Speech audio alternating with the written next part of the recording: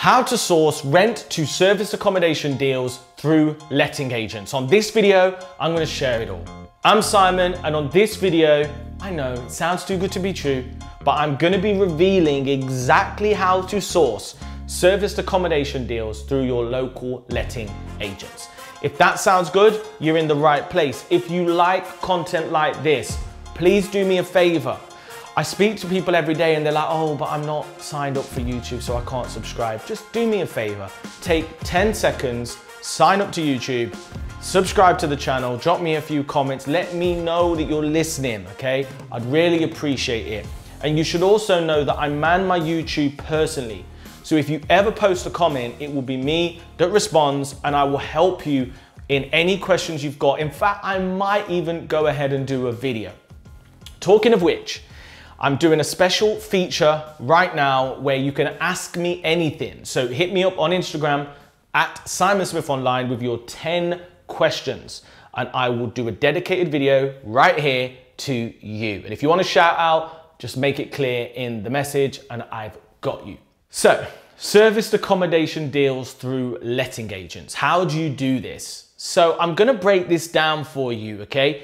But the good thing about serviced accommodation deals is there's no Article 4, okay? And you don't have to rely on larger properties or HMO properties. Any property can technically be a serviced accommodation unit, okay? Any property. Um, but I've got loads of content on the channel about what type of properties I go for, so I'm not gonna cover that in this video. The first thing you've got to do is you've got to identify properties that you like, You've got to call up the agent and you've got to arrange a viewing. Now, the biggest mistake I see at this stage is people overshare. They try to sell the concept of their business rather than just the viewing. So I want you to do a step-by-step process. So the first call, all you've got to do is arrange the viewing. You're selling the viewing, not rent to rent, not company let, not anything. So less is more. Now I know what you're saying, but yeah, but what, you know, what happens if they, you know, ask me what I'm doing, this, that, and the other? Then you need the elevator pitch, okay? Um, you need to know exactly what you're doing. Okay, you need to say, look, you know, we're relocation agency working with companies such as XXX in the local area, or, or whatever your script is, but you're not using the word rent to rent. You're not using the word Airbnb, booking.com, spare room. You're keeping it short and sweet.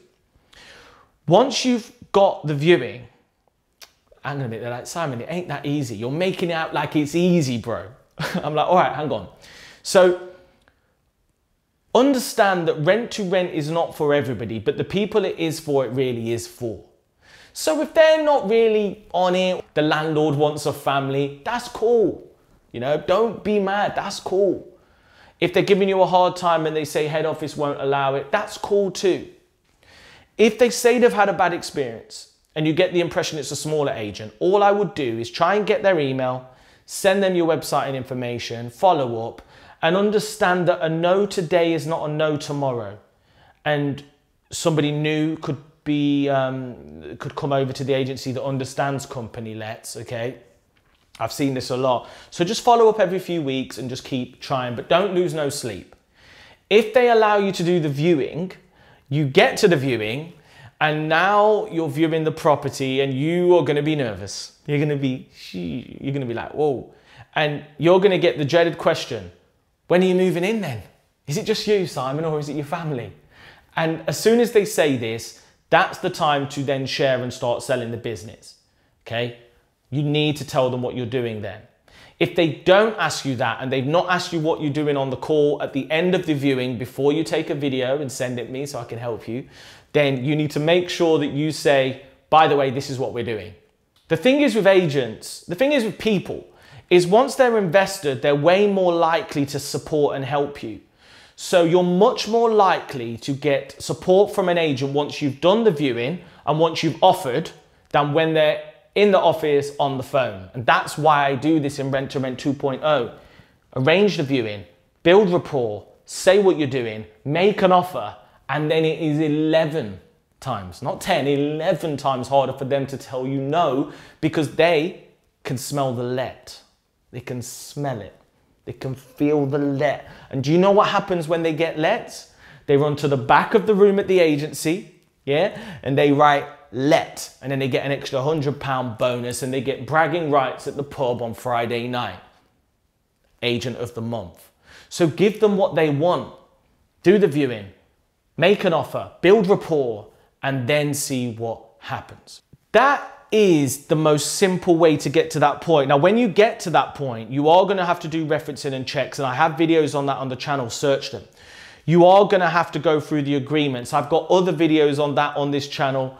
Go to them. I've even got videos on this channel about exactly how to negotiate rent-free periods, what you should be paying for and what you should not when I show you my different refurbs. But that in the essence is the most important thing I can share with you about sourcing serviced accommodation units. And top tip, this is essential. Never ever lie about what you're going to do on a rent to rent. Never do it. Never do it. If they ask you if you're going to be advertising on Airbnb, you've got to say yeah. You've got to explain, look, most of my clients aren't there. Most of my relationships are direct. Some of our clients are international and therefore like to book through a trusted platform. Uh, but we may also be advertising on these platforms to ensure that we can guarantee your rent. But the thing to remember is because this is our business, we're going to be doing so many cleanings, so many inspections, so much care and love and attention to the property. I can guarantee you it's going to be looked after better than if it was just, you know, some sharers or a family that just you know bring a dog when there's no dog or you know don't bother cleaning or kids are writing on the flipping walls and all that so if you found this useful hit me up comment below with any questions okay i really appreciate the support make sure you check out the other content on this video and give me a subscribe if you think i've earned it which i think i have and i'll see you in the next video Introducing Creative Cashflow Plus, the first rent to rent app and leading platform dedicated to supporting you on your property journey. Ask the experts anything. Be held accountable so that you can smash your goals. Mastermind with other rent to rent specialists. Access our deal clinic to get your deals analysed by a pro and unlock hours of videos and podcasts guaranteed to help you take your rent to rent business to the next level. Get the ongoing support that you deserve. Join us, Creative Cashflow Plus.